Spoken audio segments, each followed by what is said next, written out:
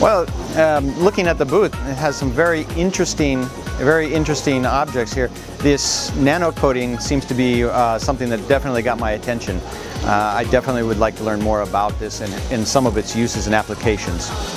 Uh, I think uh, properly, uh, properly done, I think it could be very beneficial into my particular industry, which is 3D printing. So I look forward to talking to them some more. When I visited the booth, I find uh, it very interesting. It's very impressive. Hydrophobic coatings uh, are always required.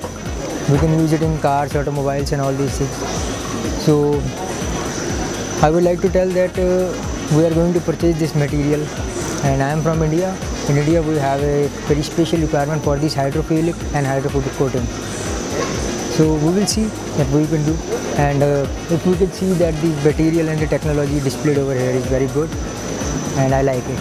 Thank you.